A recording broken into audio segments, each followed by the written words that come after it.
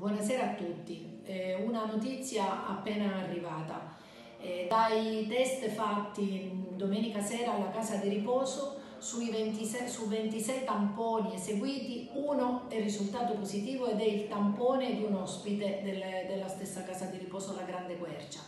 Ho attivato immediatamente sia eh, i medici dell'USCA sia il, il servizio eh, di epidemiologia dell'ASP.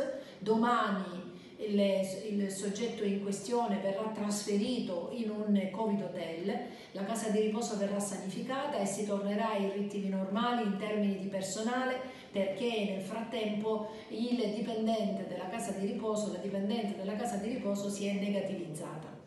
Un, altro positivo, e quindi salgono così a 10 positivi, un altro positivo è venuto, è venuto oggi, è stato comunicato ed appartiene ad un ceppo familiare dove già c'erano dei positivi.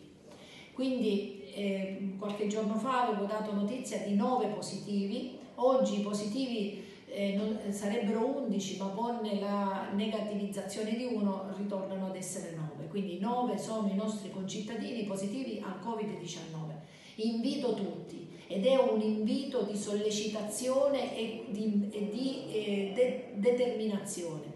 Non potete fare, non ci possono essere assembramenti. Le forze dell'ordine sono autorizzate e lo stanno già facendo ad evitare tutto questo. Non si può vedere la gente senza mascherina con assembramenti, non è possibile. È un, è un momento molto delicato e il senso di responsabilità è richiesto a tutti.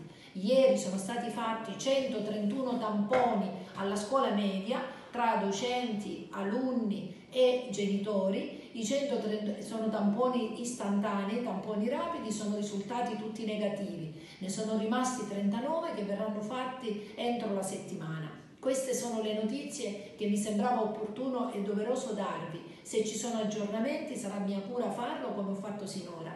Grazie a tutti per la collaborazione e soprattutto stiamo attenti perché dalla, dal, dai nostri buoni comportamenti ne dipende la sicurezza degli altri. Buona serata.